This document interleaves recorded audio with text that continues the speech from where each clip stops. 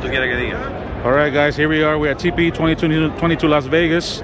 We're here with Erik Espinosa, the president of Espinosa Cigars.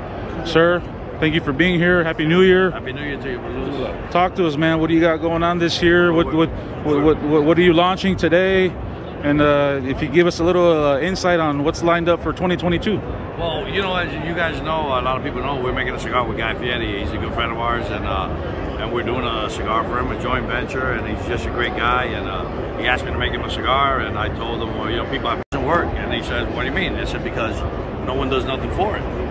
And he goes, well, what I need to do? You, you need to get involved, you know? And he has. And, you know, the whole world knows we're making it for him. And, and uh, he puts on the shirts when he does his diner driving and dives. And, and, you know, he's promoting on his Instagram. So so we're doing that. And, and so far it's worked brilliantly, you know? And, um, and we're doing a new Warhead, the Warhead uh, 8 for next year. And, uh, you know, we got uh, the Safe Provenza. We got a couple other things in, in line that we can't talk to you about. But, you know, it was a great 2021. And we expect no difference in uh, 2022.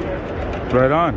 And I see a couple of uh, boxes here set up on the shelf. Yeah. Can you give us a quick rundown on what you got here Absolutely. on display? This is the Espinosa Habano, medium body, Habano wrapper. Uh, this got the number one cigar and then Cigar Dojo.